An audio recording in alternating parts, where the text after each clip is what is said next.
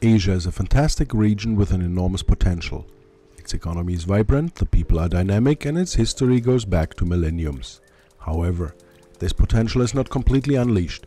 People have not really the possibility to create the life they want to, at least in most of the countries. And the future is mostly not predictable.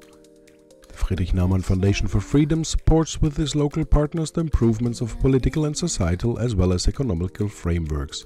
We have highly motivated people who commit their lives and do their shares to bring the often needed positive changes. Listen what drives them.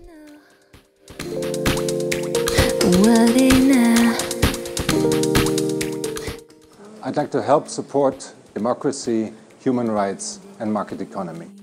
I am passionate about freedom. I believe in democracy and freedom in Cambodia. I grew up in a free uh, and stable country and I would like to see uh, much more people living in free countries. I enjoy what I am doing because I get to work on issues close to my heart. The Foundation and I share the same values. I want all citizens to be free, to have democracy Uh, and rule of law.